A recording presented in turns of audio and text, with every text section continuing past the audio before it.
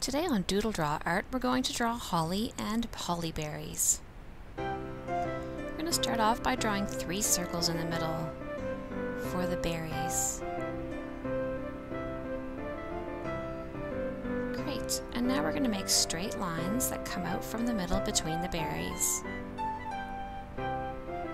Now from the middle, we're going to make points that curve all the way around the lines we drew.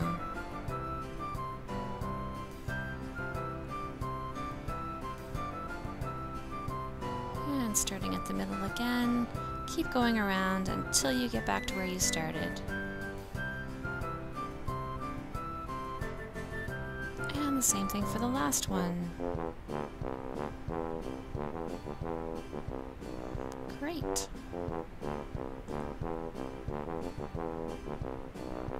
Now we're going to make some veins in our holly leaves just by curving in towards our line.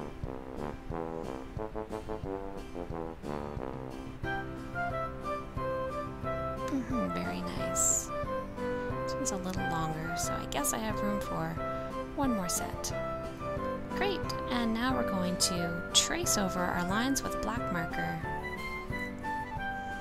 Round we go. And I'm going to speed this up.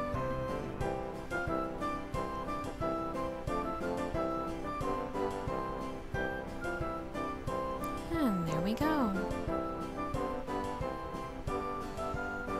Okay, I've traced over my lines exactly, so I'm not even going to erase these ones, I'm just going to go right in and color.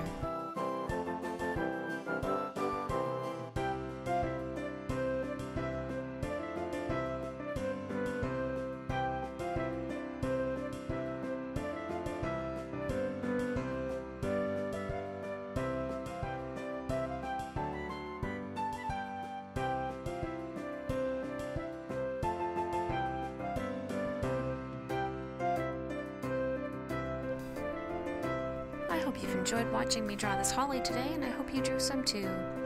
Please subscribe to my channel, and comment on this video, and like it. And if you're on Instagram, I would love it if you would post up your drawings of your holly and berries and tag me in it so I can see.